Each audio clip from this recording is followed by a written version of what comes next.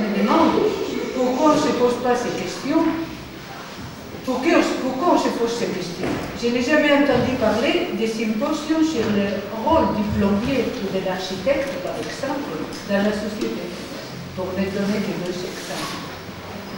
À l'occasion d'une invitation pour un symposium sur le sujet, ça veut dire le rôle de l'artiste dans la société, été obligée d'y penser. Et j'ai écrit quelques notes que je vais vous lire. Et si vous voulez, après, on peut discuter, si ça vous intéresse. En réalité, je ne peux pas donner une réponse à cette question. Je ne sais pas ce que l'art doit être dans, cette fin de siècle et de millénaire. Et en conséquence, je ne sais pas quel rôle l'artiste doit jouer. Quand j'ai fait mon travail, je ne suis pas conscient d'interpréter, de jouer un rôle spécifique. Je l'ai fait comme personne, non comme un artiste. Et en plus, la plupart des fois, je ne m'identifie pas du tout avec les discours artistiques en vogue. Normalement, j'associe la créativité, la création, avec l'anarchie. J'emploie consciemment le mot création au lieu du mot art, parce que pour moi, là, c'est autre chose. D'une certaine façon, quelque chose bien plus limité que la création, même si parfois ils vont ensemble. Quand je parle de créativité ou de création, je le fais en insistant sur son signification joyeuse, comme source de plaisir, comme quelque chose qui sert surtout et en premier lieu à celui qui le pratique.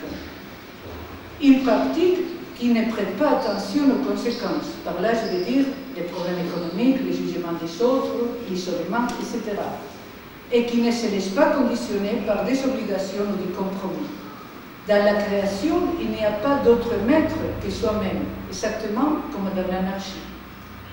Comme l'anarchie aussi, la création est en soi complètement gratuite, qui n'est compromis que soi-même et que l'on décide de pratiquer librement.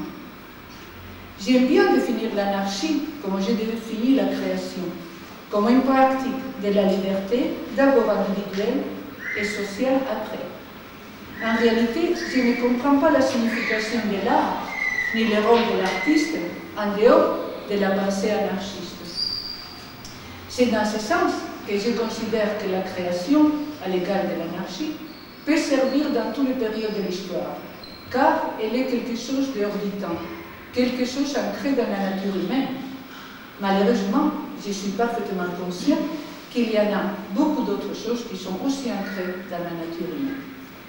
La création, donc, comme l'anarchie, ou l'anarchie comme création, est simplement une question d'assumer la responsabilité individuelle. C'est une réflexion sur l'idée que tout et chacun se fait de soi-même. Comment être pensant, capable de prendre des décisions sans déléguer cette capacité sur quelqu'un d'autre, n'importe lequel. Un dieu, un parti, un chef, un leader ou un artiste génial, ou un intellectuel encore plus génial. Notre liberté n'est limitée que par les caractéristiques de notre propre espèce, dans le sens le plus physique du terme, et par notre décision personnelle d'employer la liberté intelligemment, c'est-à-dire en considérant les autres comme des êtres qui pratiquent aussi sa liberté. Dans mon interprétation d'anarchie, donc, il n'y a pas un but officiel. Il n'y a pas un paradis ni artificiel, ni réel, ni prolétaire. Au bout d'un chemin. Car, comme Didier Machado, un poète espagnol mort en exil en France, justement, caminant, il n'y a pas de chemin, le chemin se fait en marchant. Il marche nourri d'individualisme positif, créatif, qui l'oppose automatiquement à toute conduite subordonnée. Dans la conduite créative, il n'y a pas de subordination. L'être est unique, différent de l'autre, et seulement dans cette unicité de l'être peut exister la créativité. J'aime imaginer le travail de l'artiste comme l'expression de cette unicité. D'accord avec Max Stirn, on peut dire que cette unicité qui me sépare de l'autre est précisément la condition qui me permet l'union libre avec l'autre. Mais même, si parler de l'artiste dans notre société est très difficile, car je pense que c'est surtout une recherche personnelle et que pourtant il n'y a pas de recette à donner, ni de dogme à respecter, je suppose que le fait d'être le témoin de cette unicité face à la croissante massification peut être intéressant et même utile. Utile en première lieu pour l'artiste même et après peut-être aussi pour les autres. Peut-être cette fonction de témoignage d'individualité, c'est quelque chose qui peut justifier l'inutilité de l'artiste. Partant de ma propre expérience, je pense que le fait de produire des objets artistiques consommables et vendables n'est pas ce que je voudrais vraiment faire. Je pense chaque fois plus à l'idée de produire que des situations. Heureusement, le fait de me dédier fondamentalement à la performance me facilite la tâche, surtout parce qu'elle peut être réalisée hors de lieu artistique, par exemple dans la rue.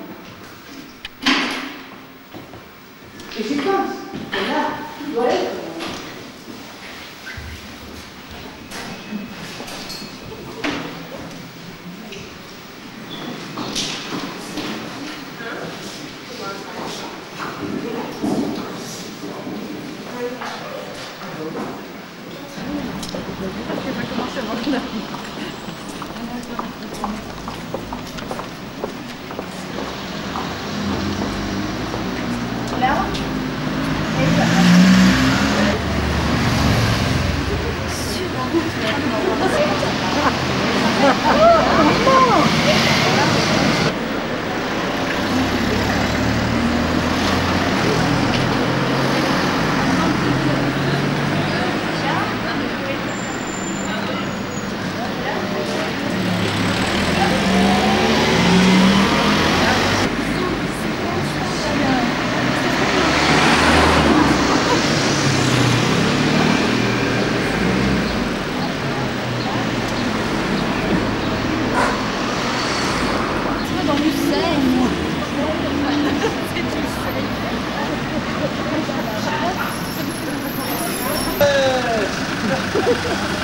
good.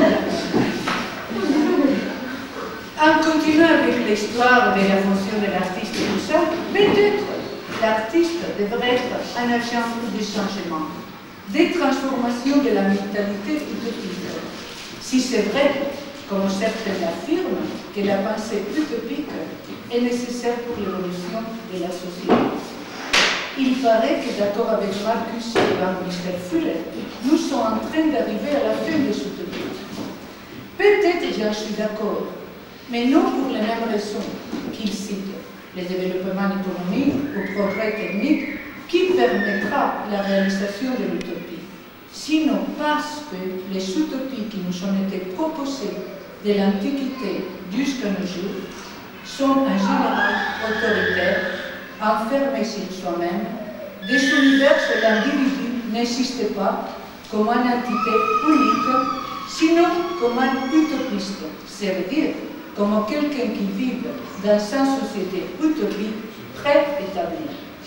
Je pense qu'aujourd'hui, ces sortes d'utopies ne peuvent être considérées comme motivantes.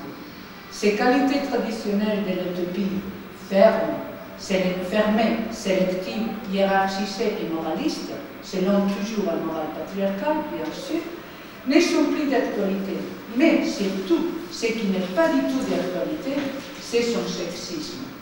Si nous analysons les utopies en général, nous trouvons que l'utopie est le lieu de la vie totale, que beaucoup comparent avec les scènes maternelles quelque chose de fondamental pour l'utopie, car l'unique image de la femme qui véhicule l'utopie est l'image de la mère, qui oublie complètement la femme en soi-même pour privilégier uniquement sa fonction génératrice, qui deviendra la mère de la nation, l'image de la République, la mère de la société, à laquelle il faut consacrer sa vie, Mais cette république, cette utopie, cette euh, société sera toujours gérée par une autorité patriarcale. Curieusement, je ne connais pas des utopies écrites par des femmes. Il serait intéressant de se poser la question pourquoi les femmes ne sont pas intéressées à ce sujet? Je ne dis pas qu'il n'y a pas, je dis que je ne connais pas. Qu'ils ne soient pas intéressés pour créer des modèles de société utopiques.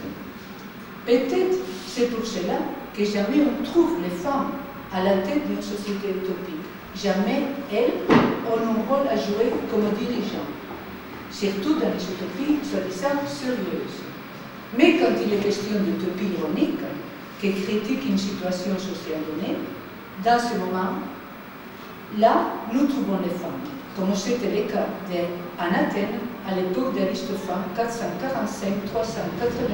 avant Christ, quand il a écrit l'Assemblée des femmes, que beaucoup d'auteurs considèrent en réalité. En réalité, il est toujours cité comme un utopie. La situation en Athènes était si mauvaise à cette époque, et le Parlement était tellement perverti, qu'Aristophane, pour donner un leçon, décide que même les femmes ne pouvaient pas vivre plus la situation.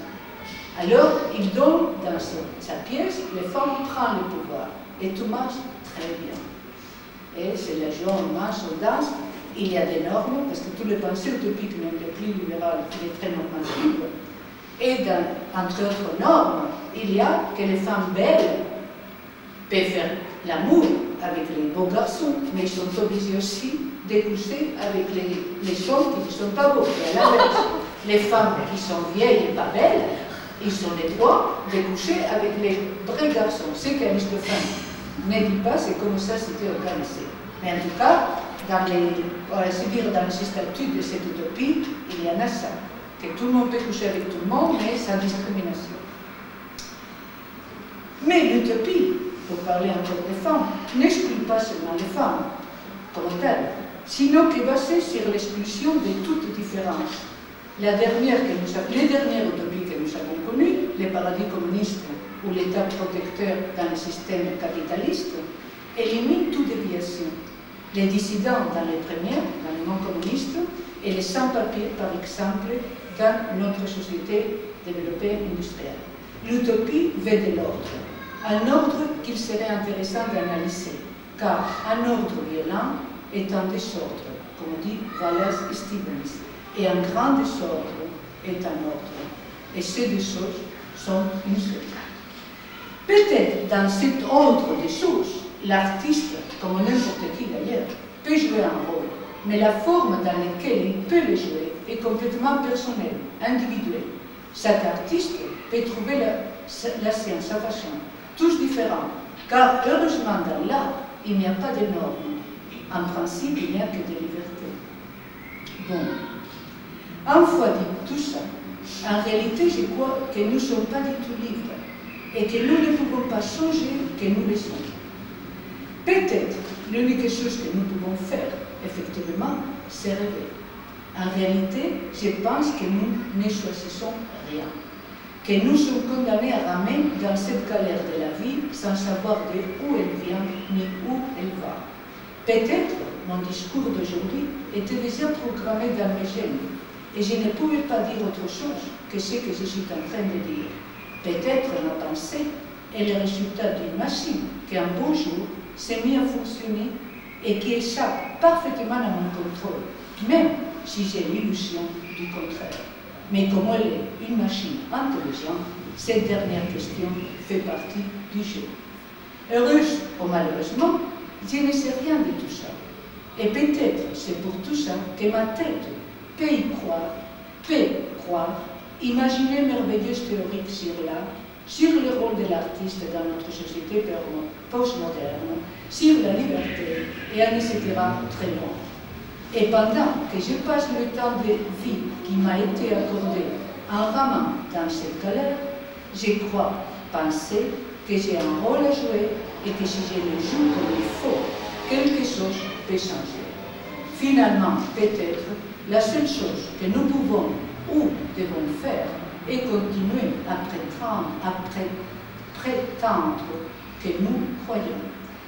Et c'est pour ça que je vais aborder la deuxième partie de cette espèce de monologue que vous aurez pu interrompre, mais que malheureusement, heureusement, je ne sais pas Et avec un autre sujet, que, mais ça revient au même, que c'est la femme et l'art. Je vais me limiter à énoncer une série de questions que vous pouvez répondre ou pas, que vous pourrez répondre à notre voix, ou simplement pour vous, ou par écrit, comme vous voudrez. La première, est-ce que vous êtes d'accord avec l'actuelle situation politico-sociale? Est-ce que vous êtes d'accord avec l'actuelle situation des femmes dans cette situation politico-sociale? Êtes-vous d'accord avec la situation de l'art dans l'actuelle situation politico-sociale? Êtes-vous d'accord avec la situation des femmes dans le monde de l'art? Est-ce qu'il existe encore une discrimination de fait pour rapport à la femme artiste? Si cette discrimination existe, à quoi croyez-vous qu'elle est due au sexisme qui règne dans le monde artistique et culturel en général, ou à celui bien spécifique des institutions et de ceux qui les dirigent, à l'incapacité des femmes de s'imposer car elles n'aiment ou ne peuvent pas employer les mêmes méthodes que les hommes artistes, au fait que la femme n'est pas unidimensionnelle, croyez-vous que la situation, même s'il continue à être mauvais, s'améliore ces dernières années? Croyez-vous que la génération plus jeune s'en prend mieux que nous, je veux dire ma génération, que nous l'avions fait? Croyez-vous qu'elles ont plus de chances de réussir parce qu'elles sont plus indépendantes, parce qu'elles sont mieux formées, parce qu'elles ont bénéficié de notre lutte, parce que les temps sont meilleurs, parce que c'est la mode des femmes, parce qu'elles sont meilleures artistes,